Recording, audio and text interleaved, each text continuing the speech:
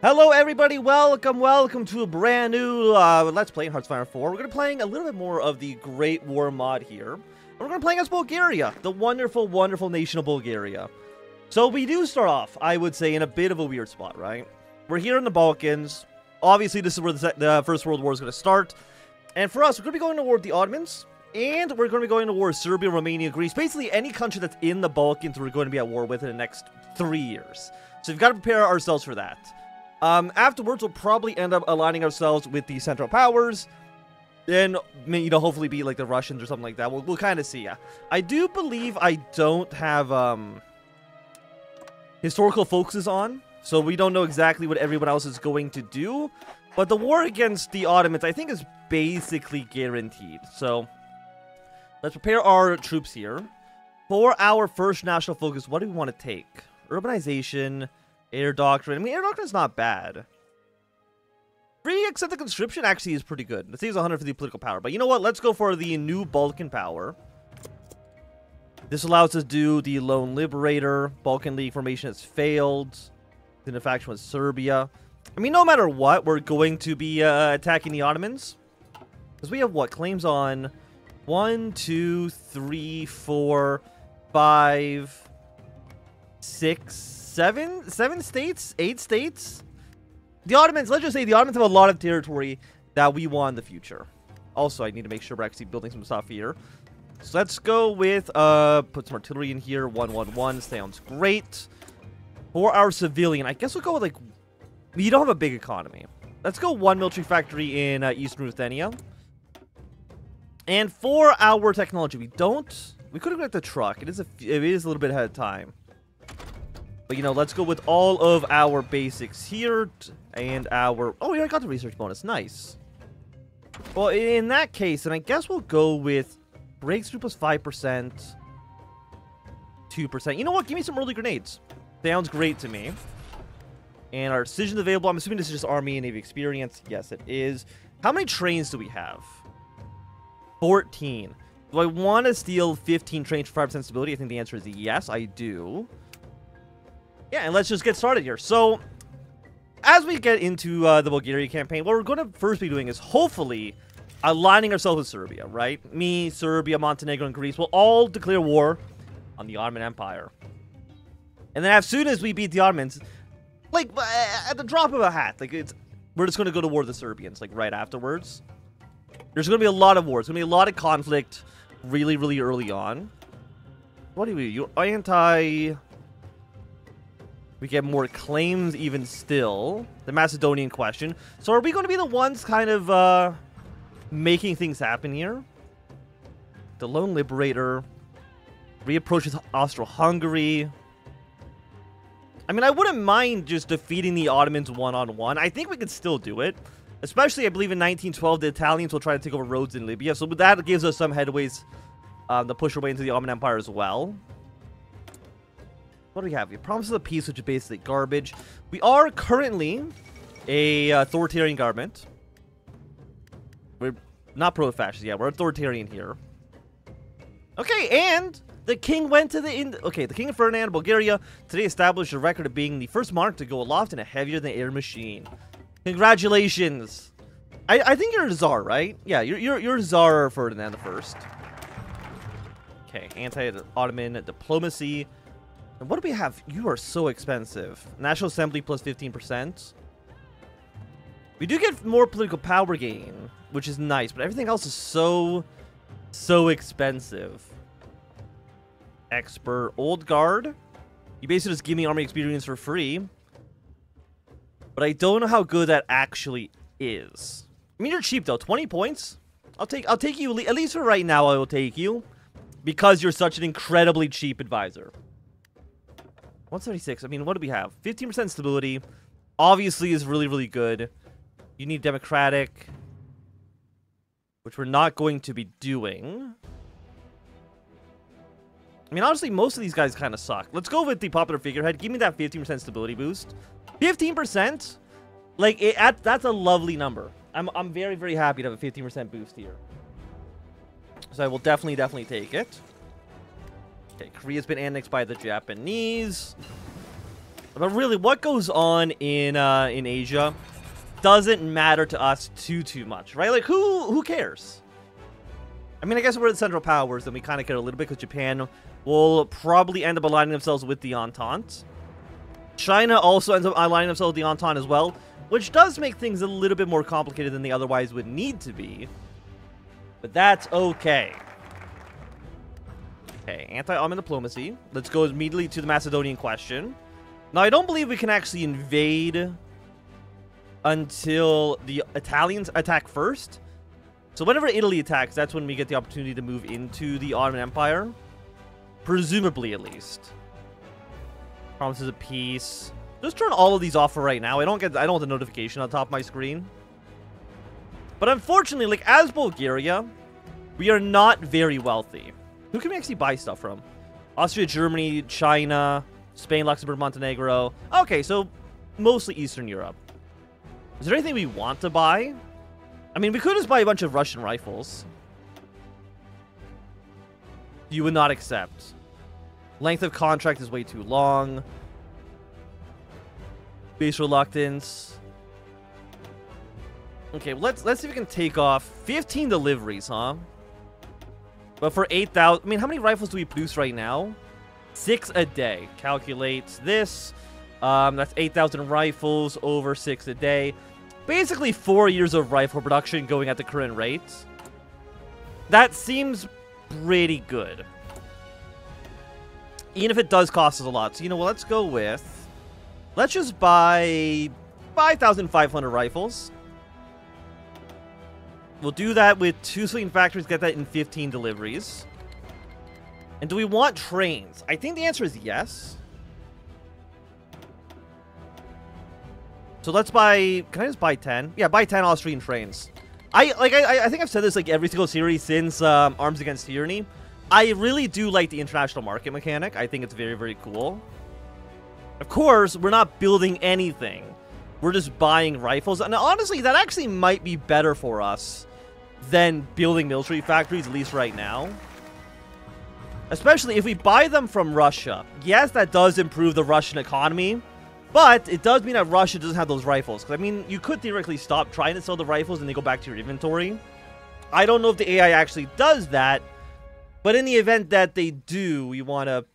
We just want to... It's, it's a safety thing. Okay, the future of the Balkans. Our northern southern neighbor is getting weaker and weaker. With the Turks losing on all fronts, it's time for us to join uh, and gain our slice. However, we need allies to do so. Serbia would uh, look like a reliable partner, though their claims to Macedonian region is problematic.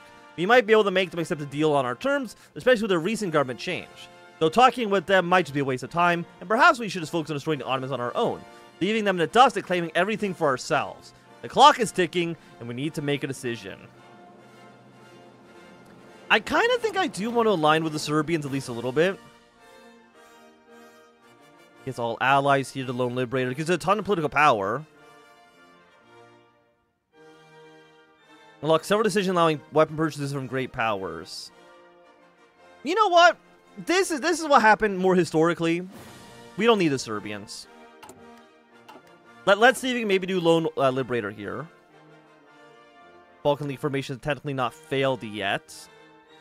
Of Conscription would be quite nice. Balkan League is victorious. Is in a faction with the odd with the Serbians, I should say. And this is if we lose.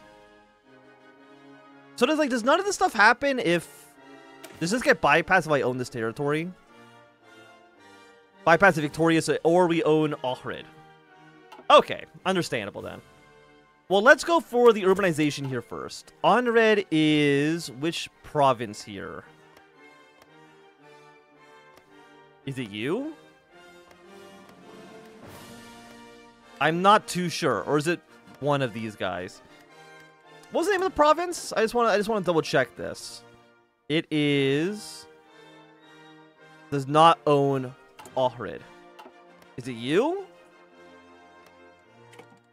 That's not what I want. I want the search function. Where's Ohrid? You're Ohrid. Okay, okay. So if we take this territory, we just bypass that. Let's just get into our main um, political tree, which is nice. Because I don't want to have to worry about the Serbians. I mean, the Romanians the, and the Greeks might uh, not like us very much. What are you? You are 35 combat width. Holy shit. You are a 51 combat width unit. My god. Okay. Let's train up just two of you for now. We're missing artillery pieces. we're missing rifles. It's not great.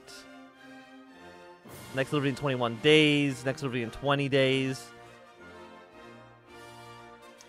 Okay, so it does take a little while for this to actually happen, but that's okay. It, it might take like a, a, year to get all these deliveries in, but so be it. You know, I, I think it's still worthwhile for us to buy this equipment. Especially since we'll probably get some more factories somewhere in this tree.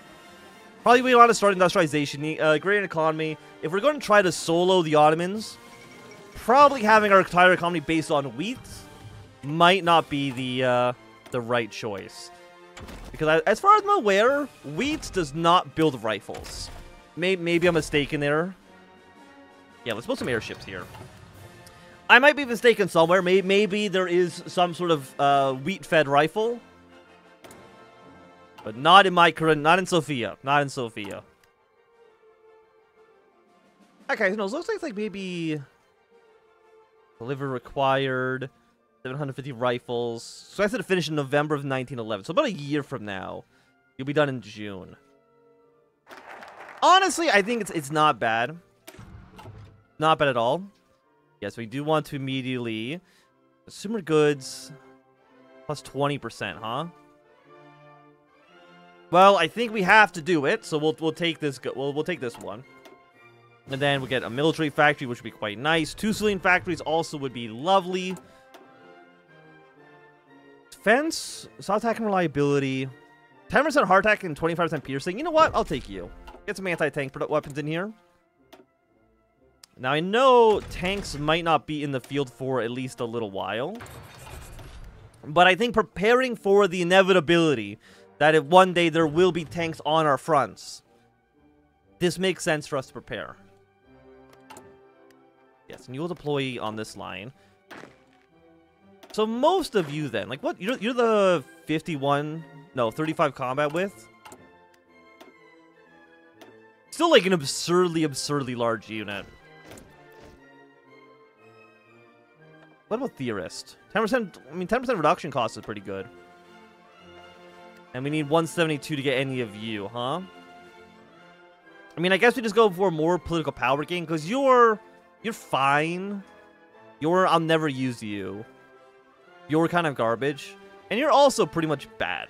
So, I mean, we'll take Silent Workhorse, and then probably not even get a third, uh, advisor because I don't know if we need them.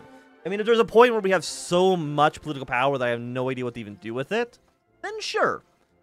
Then then it makes sense. We, we can throw in maybe the... Actually, maybe we'll get a spy agency and we can um, get the elusive gentleman. That would make sense for us. Get two extra spies. Everyone else is actually hot garbage. They're they're all terrible. So we, we're not even gonna worry about them. We're not even gonna, we're not even gonna look in their direction. So we can do Lone Liberator next. Once you're finished. But what do we need to do to actually invade? Again, I, I think we just wait for the Italians to do it.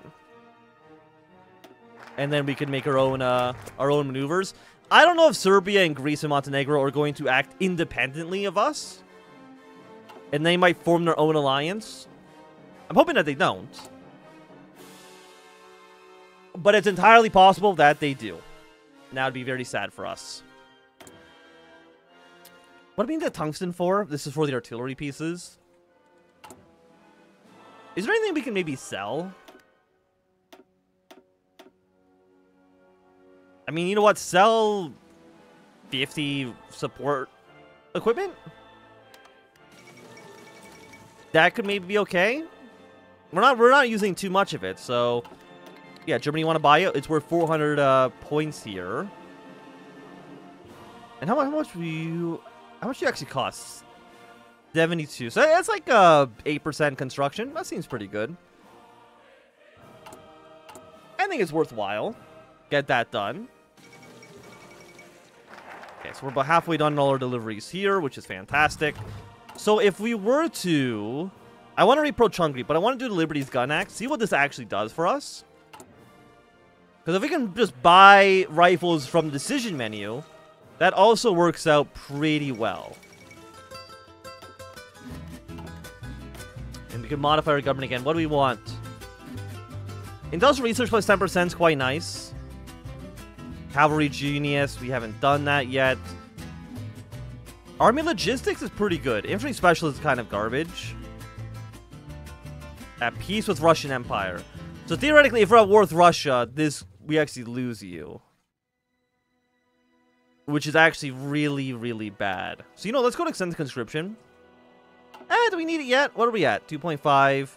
Yeah, you know what? Extend the conscription. Let's get that going. We need to prepare for the war against the Ottomans. This makes sense. Oh, Nix is bypass because they spent the points on it. Eh, that's fine, actually. It's not that big of a deal. Your 1914 tech, way too expensive. Let's go with basic mortars. We can, uh, 5% more attack. Again, I'm not going to say no. Soft attack, hard attack, breakthrough, armor piercing. All of these are, are quite nice for us. Economic capacity surplus of 388. And then we are using this for our current constructions. You're 14 as well. The Navy, I mean, the Navy is a weird spot. Can I do, actually, do I have naval invasion attack? I do, okay. We need to research aircraft engines. And I'm assuming that's going to be in engineering somewhere. Yes, it is. So let's research some aircraft engines. I would, um... What is this for? This is for artillery? Total anti-tank, total anti-tear, total artillery. I guess we'll take advanced barreling forging. Seems okay. What can I do with you? Organization. Don't really want to spend my points on any of those. They don't they don't seem quite quite worthwhile to me. And what do we have here? We have one air specialist. We have one we have two naval specialists as well. I mean, we might as well just take them at this point. Uh, infantry specialist. I don't want to take you. I would like cavalry genius as well. Um, we need cavalry tactics finished though, which we don't unfortunately have at this exact uh, moment in time. In 15 days, lock several decisions allowing weapon purchase for great power. So we can buy rifles, if we can buy artillery. I don't, I'm assuming they probably don't have any tanks, which is reasonable. Research the submarine technologies. I mean, sure, 91 days. It also gives a, a little bit, a 1% boost for our research. I will say 1% I mean, doesn't sound great. I understand that. But 1% is 1% more than zero. I guess actually it's like, what, infinitely more than zero? It, it doesn't really matter. It, it's good. And you require civilian factory use.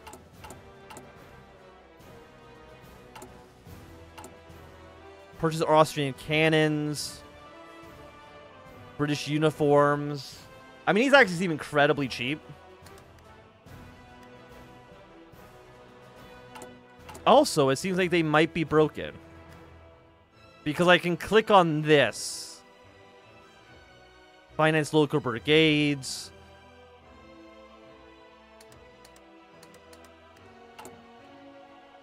Okay, so this... I, I guess you can just order more uh, stuff than you actually have the economy for. Maybe it's because maybe it's because market contracts. The game doesn't realize that these are not actually free factories. They're being used for something. That's my best guess. I mean, it works. It, is it cheating? No, because the game is allowing me to do it. So I guess we go like two of you. And then let's train up like three cavalry as well. But like, some of these guys are just massive. Can I actually but actually, I guess you do have a different symbol here because you've got the uh, the the chevrons. So we will know who's our uh, beefy boys. Yeah, let's also get research the Howitzer. They're pretty good to have for support units, uh, so we would like to get those into our armies ASAP. Bring out, bring out the big guns. What can we do here? I guess like the industrial research bonus. 10% research is, nice, especially since industry is usually one of those top priority techs you always want. You always want to research more industry. There's never a time when you're not really wanting to research something from the industry list. So always, so getting a 10% bonus on that, mwah, just mwah. We love, we love to see it. Okay, so we're almost done our uh, shipments from you. And we just bought like so, so much equipment. We are still missing rifles, but we are building up some pretty massive armies. So I completely understand that there's not enough guns to go around. Like, how many guns do you guys need? 2410. Damn, okay. We won't take you quite yet. I don't think it's necessary. Land doctrine reduction. You just add an extra 5% population. Abs done. Yeah. Of course we'll take it. You would you would be a, a fool not to. We're gonna take research on you next. 2% boost to everything. And you are what? How expensive are these? 250. So a 10% reduction is 25 uh, army experience cheaper. Which definitely does make a difference. For sure. Mona Lisa's been stolen. Well, you can't trust valuable artifacts in the hands of the French. I think we all knew this. But what, else, what we also all know that this is going to be a great time for us to end this episode. So if you enjoyed, thumbs up. Not enjoying, please thumb down. You want to see more, subscribe, and goodbye.